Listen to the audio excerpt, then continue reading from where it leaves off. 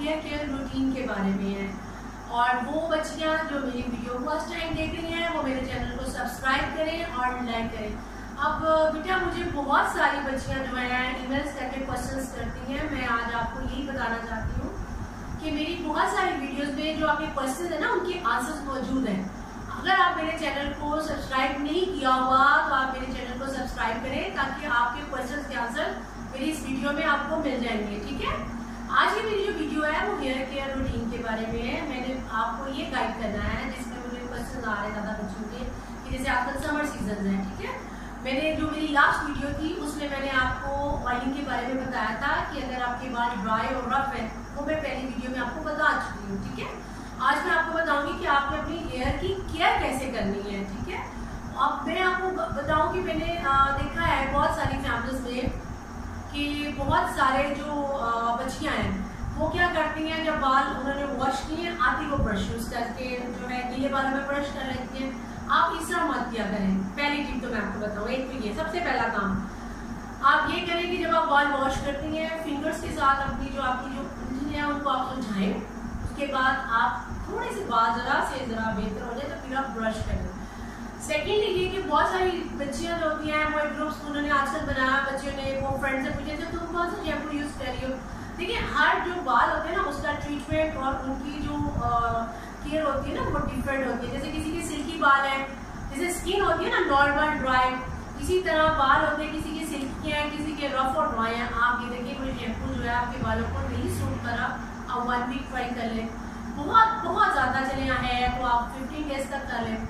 उसके बाद ये कि अगर आपको वो सूट नहीं करा तो आप जो है दूसरा शैम्पू यूज़ लेकिन आप ये नहीं कि आपकी फ्रेंड ने वही शैम्पू यूज़ किया है। आप भी वही में टू थ्री मंथ्स आपको हो गए हैं और आप कह रहे हैं, ये तो हमारा हेयर फॉल हो रहा है इस शैम्पू से और वो कह रही मेरे शैम्पू जो है वो बिल्कुल परफेक्ट है। सेकेंडली ये कि बहुत सारी गर्ल्स जो है, वो जब सैलून जाती हैं तो वहाँ पर जब आपकी जो हेयर कटिंग होती है तो उसके लिए जो ब्रश है ना, वो देखिए डिफरेंट होते हैं। आप तो आपको बहुत ज़्यादा जो बच्चे जिनको नहीं इस बारे में नॉलेज है तो मैं आपको यही कहूँगी, आप अपना ब्रश खुद लेके जाएँ, क्योंकि उसमें डिफरेंट जो है हेयर्स का वो होता है, उसमें वो ब्रश यूज़ हुआ दूसरी ये कि आपको मैं एक टिप और बताऊँगी, जिसमें आपकी जो बाल है ना, उनकी आपने केयर जो है, वो करनी है। अगर उसको आप नहीं करेंगे तो आपकी जैसे मेरे बहुत सारी बच्चियाँ मेरे पास आती हैं, उनकी स्कल में एलर्जी हो जाती है। उसकी ये मेन रीज़न है जो मैं आपको बताऊँगी। कि आप क्या उसमें बद एहतियाती करते हैं। सेकेंडली ये कि आपका जो बॉडी का टॉवल है, वो आप सेपरेट करें और जो आपके बालों का टॉवल है, वो क्या होता है वो आपकी सिस्टर भी यूज़ कर रही हैं, वो आपकी मदर भी यूज़ कर रही हैं, जो लाइक फिफ्टी प्लस हैं या फोर्टी जो भी उनकी एज है ना, या वो शुगर पेशेंट हैं, अब आप अपना टॉवल जो है बालों का वो सेपरेट रखें। मैं वो बता रही हूँ आपको जिनके स्कल पे एलर्जी या उनके बालों में प्रॉब्लम्स आती हैं, सबसे पहले आप इसकी दूसरा ये कि आप कंडीशनर वगैरह यूज़ करते हैं, बच्चियाँ रोज कंडीशनर जिनके रफ बाल है, वो यूज़ करते हैं। डेली आप कंडीशनर यूज़ करेंगे ना तो आपके बालों को, आपको हेयर फॉलिंग हो रही थी बहुत ज़्यादा। आप वीक में टू टाइम जो है पहले ऑयलिंग करें और जो मैंने आपको फिर वही रिपीट कर रही हूँ कि किस तरह से आपने अपने बालों को सुलझाना है। और उसके अलावा आपने ये करना है कि जो आपके ब्रशेज होते हैं, ठीक है? मैंने बहुत सारे घरों में देखा है कि जो उनके ब्रशेज हैं आई कॉन्ट एक्सप्लेन यू कि वो किस कंडीशन में होते हैं। तकरीबन फाइव मंथ्स हो गए हैं वन ईयर इवन के हो गया। आप लोग वो ब्रशेज जो हैं, वो यूज़ कर रहे हैं। मैं आपको बताऊँगी कि आपने उन ब्रशेज में क्या इश्यूज़ होते हैं। बहुत सारी गर्ल्स मेरे पास भी हमारे सर में पिम्पल्स हो गए हैं एलर्जी हो गई हुई है। अब आप क्या करते हैं, जो आप कौन यूज़ कर रहे हैं, वो आपकी सिस्टर भी यूज़ कर रही है, वो आपकी मदर भी कर रही है, या वो वो भी कोई ऐसा यूज़ कर रहा है जो शुगर पेशेंट है। या वो यूज़ कर रहा है जो पेशेंट है, या जिसके स्कल में थोड़े इश्यूज़ हैं, आप वही ब्रशेज यूज़ कर। आपको अपना ब्रश खुद अलग रखना है।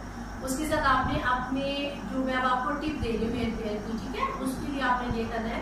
आपके ब्रश को आपने जो बॉयल वाटर होता है ना थोड़ा सा हॉट आपने उससे उसको वॉश करना है। अब उसमें मैं आपको ब्रश दिखा, जैसे मैंने देखिए ये वाला ब्रशेज है, ये देखिए कितना पुराना हो गया हुआ है, ये वाला ब्रशेज है। इसमें भी, अब इसके अंदर क्या होता है जो आपको अक्सर बच्चों के जो ब्रशेज होते हैं, उनमें जैसे हेयर होते हैं, वो अंदर डर्टी हेयर होते हैं, आप लोग क्लीन नहीं करते, उसके अंदर जड़ों में ये चीज़ें रह जाती हैं। कुछ ब्रशेज होते हैं, ऐसे पिंक नुमा, जिनको आप ब्रश कर रहे हैं, अपने बालों के अंदर तो वो आपके बालों को तोड़ रहे हैं, आपके बाल टूट रहे हैं और गिर रहे हैं। आप वो ब्रश यूज़ करें, जो कि आपके बालों को तोड़े नहीं। और काइंडली अगर आपको नज़र आ रहा है कि आपका ब्रश बहुत डर्टी हो गया, बहुत गंदा हो गया तो आप इसको बॉइल पानी से वॉश करें। और उसके साथ आजकल जो मैं आपको बताऊँ, थोड़ा सा जो अपने अपनी क्लियर करनी है तो उसमें ये है तो उस वाटर को अंदर आप थोड़ा सा वन ड्रॉप डिटोल डाल दें। उससे ये होगा कि आपके जो स्कल है, उस पर जर्म्स नहीं होंगे, आपका ब्रश भी नीट रहेगा और उसको आपने नीट एंड क्लीन करके ब्रशेस को रखना है। और ऑयलिंग जैसा मैंने आपको बताया है आपने वो करनी है बालों के अंदर। और इसके साथ ये कि जो आपके शैम्पूज हैं आपको देखिए कि वो आपको सूट करें एंड लास्ट एंड लिस्ट जो समर सीज़न के अंदर आपको खर्च स्टार्ट हो जाती है, ये मैं उनको बता रही हूँ जिनको कोई एलर्जी नहीं है जो शुगर पेशेंट नहीं है, जो टीन एजर गर्ल्स हैं, और आपके बाल बहुत रफ हैं।